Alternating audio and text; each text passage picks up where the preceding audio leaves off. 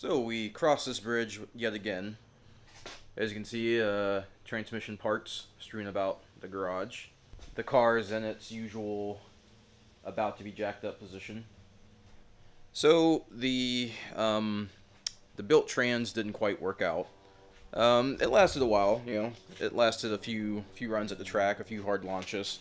Third gear still still let out on me. The funny thing is, third gear didn't even let out at the track; it let out on the street. Um, I was on my way to work. I went to pass someone. Uh, you know, first gear, second gear, fine. Shift to third. Right as boost kicks on, just shot straight to red line. And I was like, that was weird. I thought maybe it spun. Shifted to fourth, cruised around a little bit, and I heard the usual rattling sound. So I shifted back to third, and there was like absolutely nothing there. It is just gone. Um, so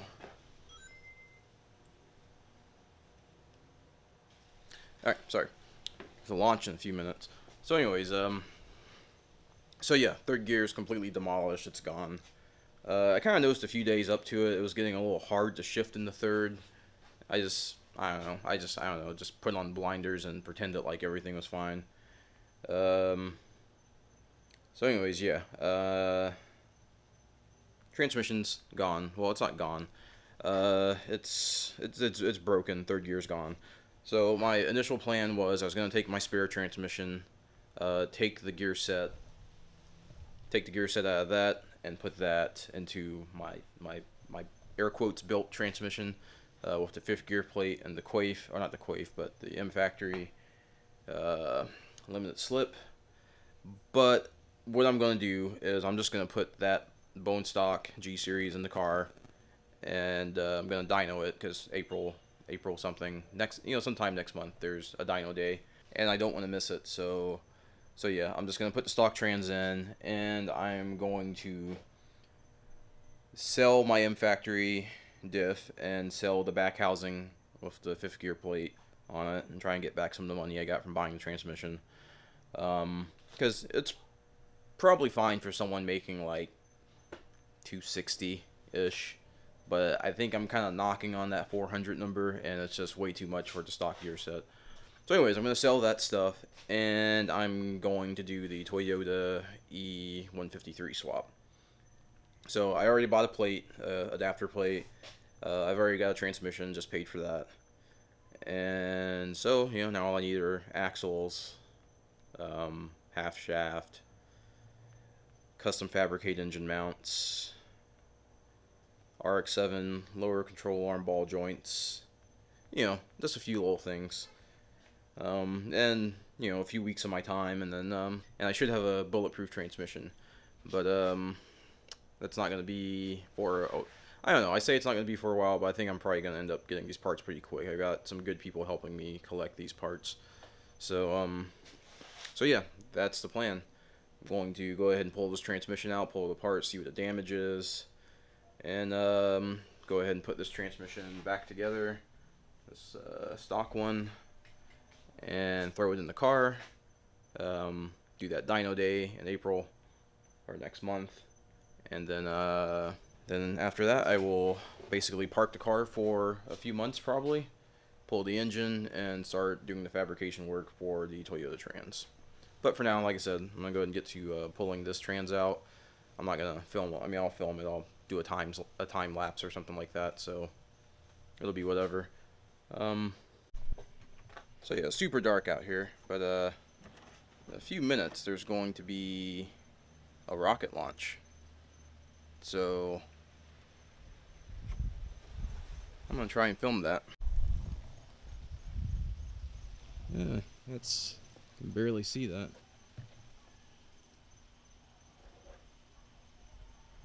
One of the great advantages of living in Florida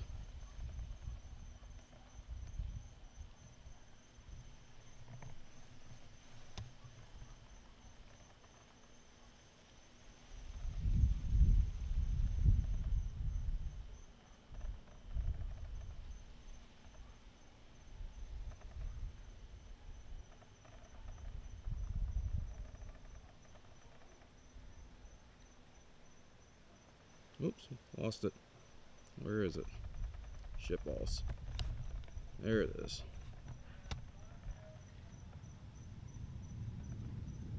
Three hundred millimeter lens, freehanding it, so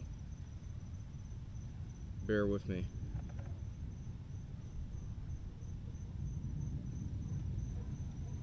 Behind the trees.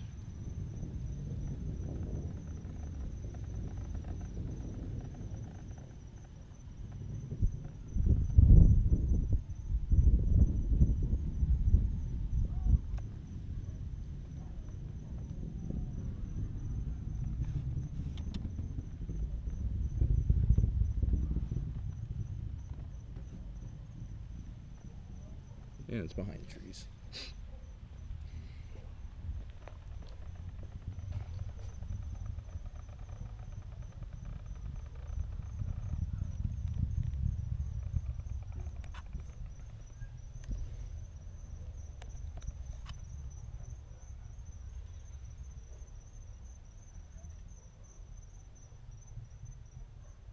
You can actually see the, uh, you could see them.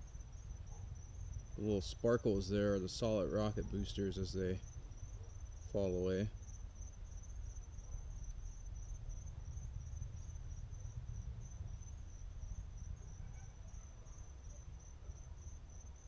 Alright.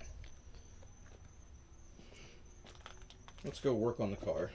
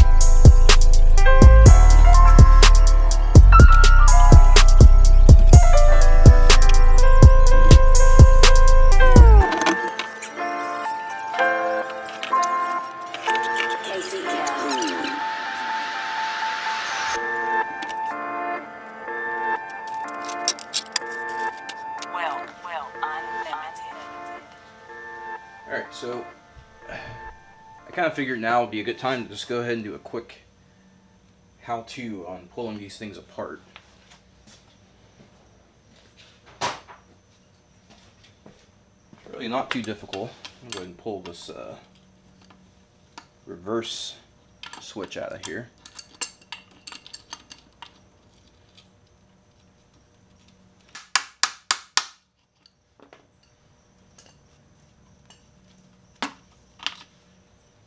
So I'm going to break that.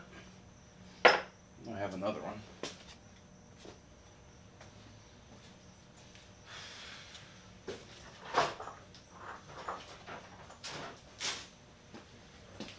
So you don't really need a whole lot pull these things apart. You're gonna need a 10 millimeter, a 14 millimeter. That's a 15. Is that loose? What the fuck? Well, that explains why that was leaking. Huh. Alright. Anyways, yeah, 14 millimeter. And I believe it's a 12 millimeter. Alright, so I guess first thing you can do, pull these two guys out. 12 millimeter here. A copper washer, don't lose it. 12 millimeter here. This one keeps the fifth gear idler in place, and this one keeps the uh, shifter fork rod in place.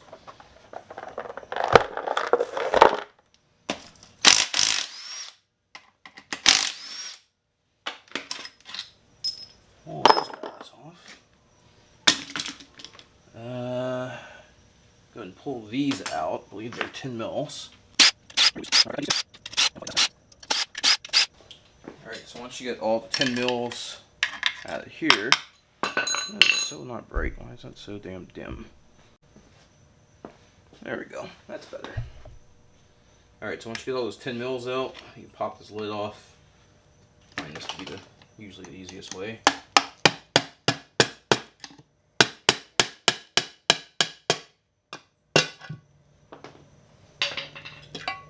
There we go. There's your fifth gear assembly. Alright. These the same size? These are the same size. That- Holy shit. Did I not hammer those shut? Oh my god. Are you kidding me? Wow. Jesus. Apparently I never, uh... That wasn't even tight. Shit. I wonder why the transmission damn near came apart on me. Alright, so normally this is torqued down. um, you got another nut over here, same size. Or it may be different depending on the model transmission. This is a uh, one and one quarter. I don't know what the metric equivalent is.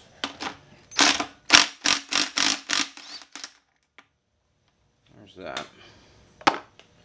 Pull that off. At least I got the pin in there. Then you got a uh, roll pin right here. You're going to want to tap that out.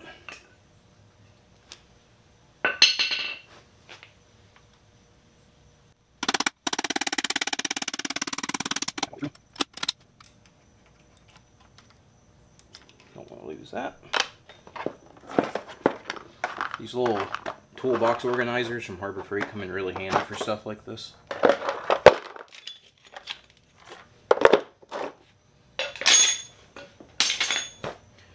Alright, then you can go ahead and you can remove the fifth gear assembly. Should probably really be wearing gloves.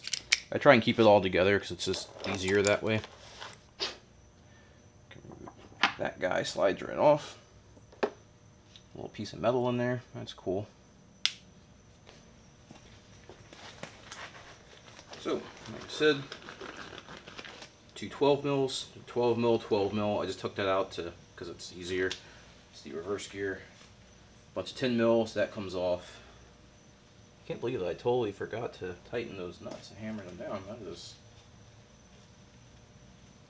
all types of metal shavings in there. Hmm. Oh shit. Alright, I got all these 14s.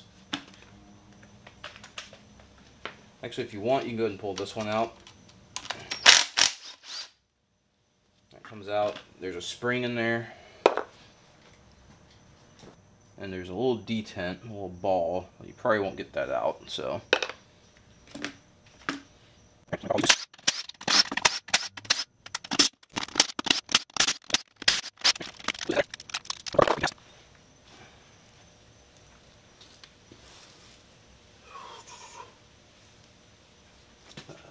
held together with RTV, and that stuff is in there pretty good.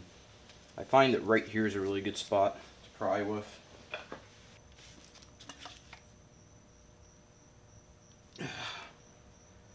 Ah, yes, always a pain in the ass.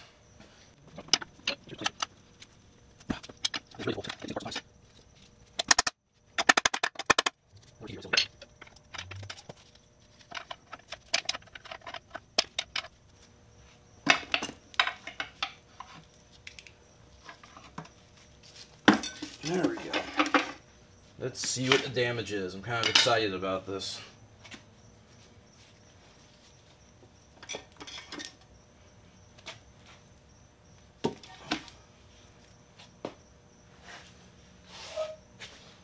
Ooh, that's pretty.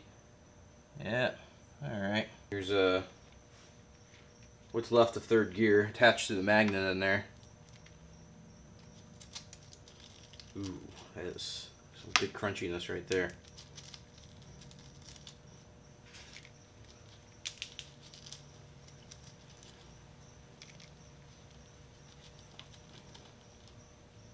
So for those of you watching, just trying to figure out how to pull your transmission apart, hopefully this isn't what you find inside of it.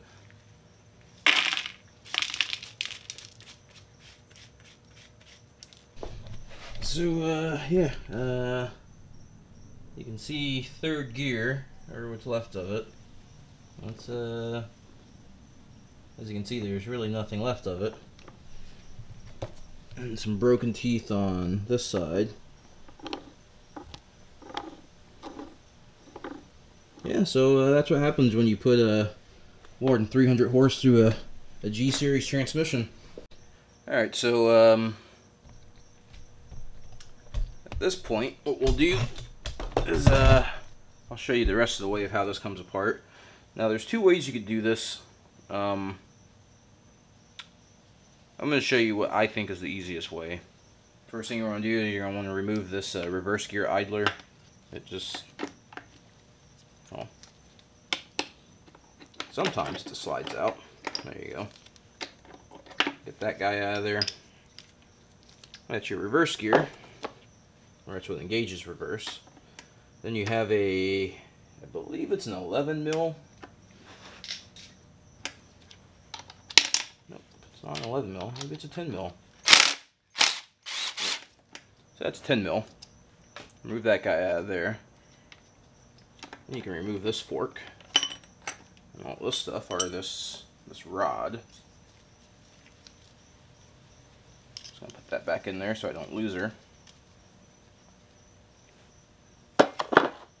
Alright, so in order to get these gears out, like I said, there's two ways to do this. Um, one way that I've seen involves removing, there's a little pin that holds this shaft in that's kind of a pain in the ass. The much easier way, like you can get the gears up, get it into up there, you can hammer that pin out, you can slide this rod out, and you can take the gears out. I think an easier way to do that is this guy actually comes out pretty easily. So if you can get a grip on this pin here, if you can see that very slightly, but yeah, there's a little pin here. You can pop that guy out. Once you pop that guy out, give this a little twist, and it should work this guy out. There you go. You can pull that out. And that removed, there we go. So yeah, um, once you get that guy out, you can pull the shift lever back and then this just pops right out. So now that that's out, you can get this out.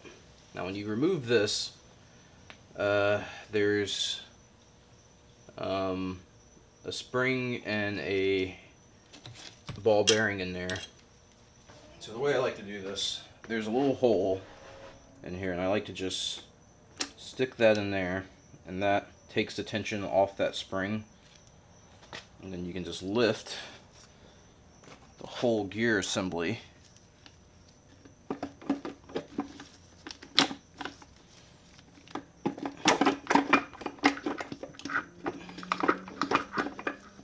Kind of lift the whole gear assembly.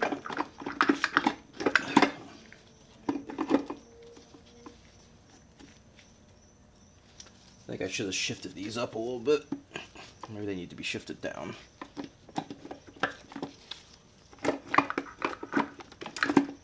Ah, damn it.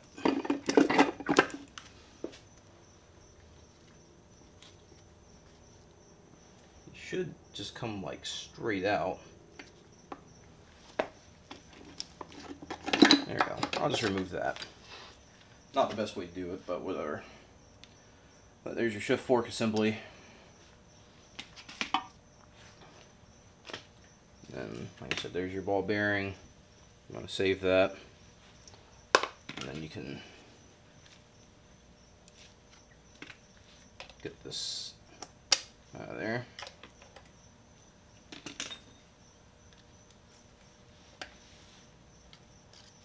Shit. Alright, I guess the springs are different. Another tooth there. So the springs are different. Yellow spring goes in that first 14 millimeter that came out. The black spring goes in the detent for the shift fork assembly.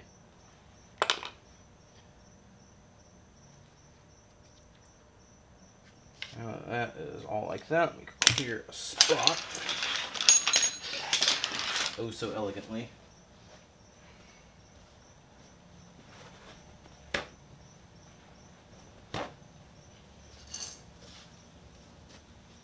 I should be able to lift this out.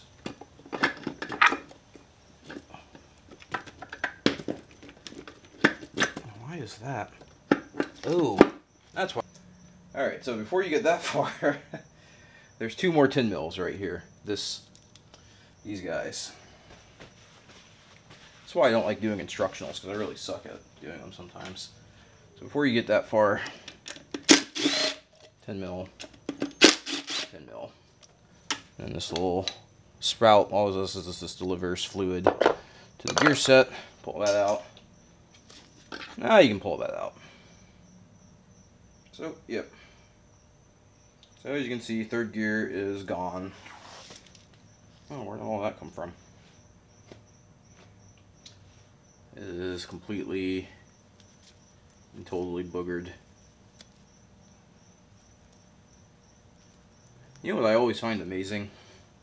Is that when these things break, it's always the teeth and not this ring here. All that power is being transferred through these. These little tiny little teeth.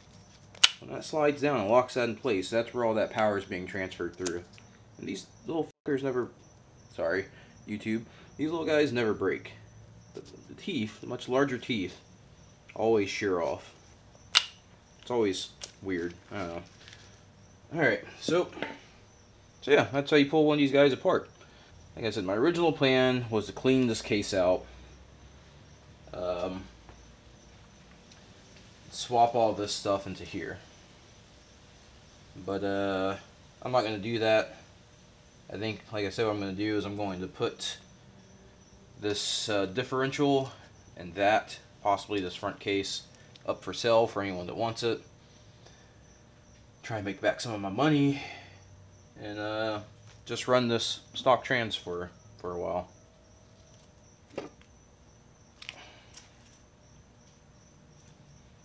Yeah, this M Factory diff is still in great condition. No damage. Like I said, maybe going up for sale. My fifth gear ring I broke. Or my speedometer ring I accidentally broke. God, there's like entire... Oh, there it is, down there.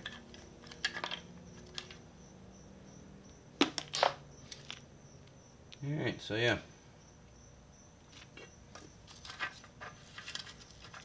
A couple of more teeth on the magnet.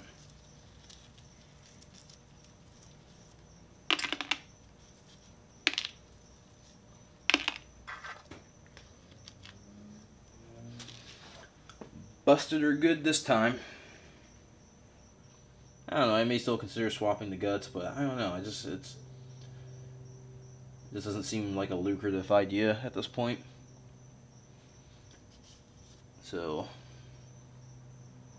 so yeah, um, M Factory 28 spline LSD along with the 28 spline axles. Well, yeah, along with the 28 spline axles and and the intermediate shaft, which is the inter, the 28 spline uh, intermediate shaft is really hard to find. So, um, so yeah, M factory diff, 28 spline intermediate shaft, 28 spline axles, and um, a uh, rear half G series housing with the uh, fifth gear plate, are up for grabs.